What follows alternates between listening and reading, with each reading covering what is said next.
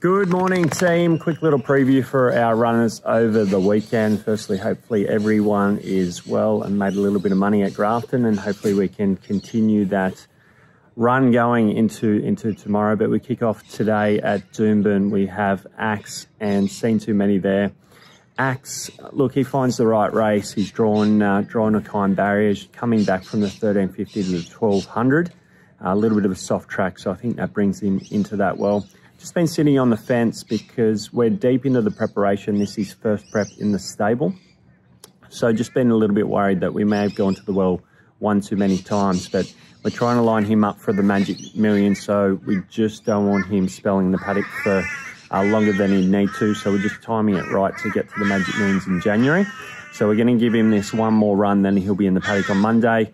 Uh, but Jag, uh, Guthmann-Chester gave him a gallop on Tuesday and pretty much said, look, he doesn't get beat.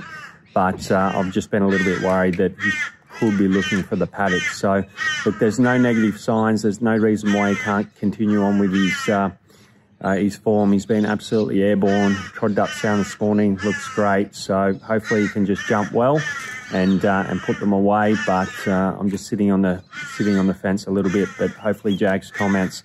I've um, never had a jockey be so confident coming off track work. Uh, we then have seen too many. She's uh, she's come back from Sydney in fine order. She looks like she's improved. Only a very small field, which should play into her favour. She'll just um, be nice and cozy in the run, and hopefully she can just run over over the top of them because she's very very well. The only chink in her armour is if she could be looking for further now, but we've kept her nice and fresh, and we're very happy with her. We then head over to Grafton on Sunday. A couple of favourites down there. Divine Factor. Look, she's working like she should be winning. Uh, potentially, she'd ideal world she'd want 1200, but I'm hoping she can get away with it. Andrew Mallyon rides them all and he's in fine form and riding really well for the stable. I think she's a very, very strong chance. Uh, we then have the catch. He's up to 1700. I think that'll really suit him, that increase in distance, and it looks a, looks a suitable race for him.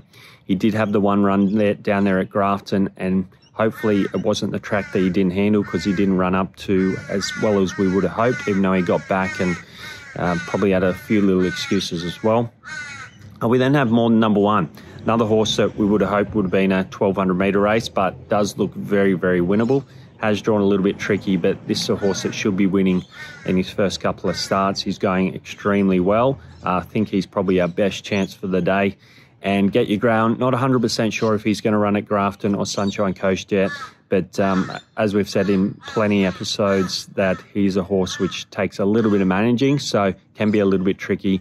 Uh, but look, if he ran up the, his best, he should be in the mix. So I'd probably say more than number one's the best chance for, for Grafton. But few short price horses. Hopefully, they can run up to expectations again. Good luck, everyone, and we'll be in touch. We're going to have our, our show on Tuesday of next week, and we'll do a full catch up and hopefully plenty more to talk about.